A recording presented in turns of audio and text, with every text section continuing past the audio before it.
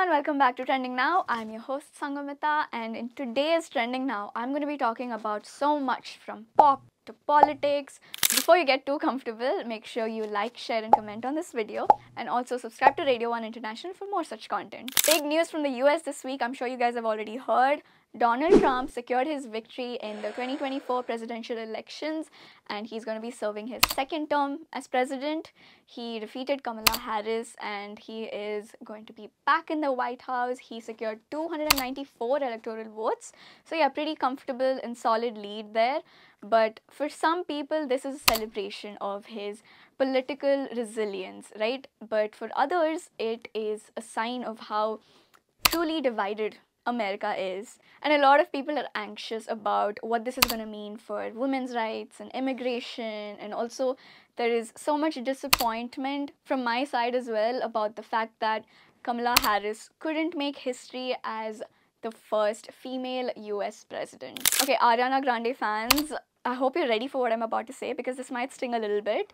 So, she is talking about making a career change, more specifically towards acting. We're still going to be getting a lot of music from her, a lot of pop albums to come, but just not in the same pace as it has been for the last 10 years. I'm very excited about this because I am a huge fan of Cat, Cat Valentine from Victorious.